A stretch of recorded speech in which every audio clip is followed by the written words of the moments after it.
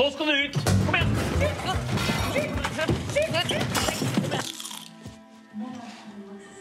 Jeg bare sa opp det treningsabonnementet.